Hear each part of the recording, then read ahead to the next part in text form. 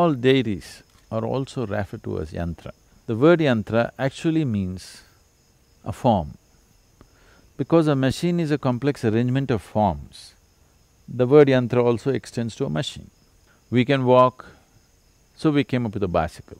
Whether it's a phone or a bicycle or a car or a, machine, a flying machine, computer, whatever you call it, they're all just enhancement of what we already can do. Because we have tools and machines, we are an enhanced life. People do not understand how fantastic a thing tool is. Suppose I ask you to unscrew this screw in this piece of furniture, you may lose all your ten fingers and a few teeth, but it won't come. If I give you a little screwdriver, done, isn't it? That's a powerful tool.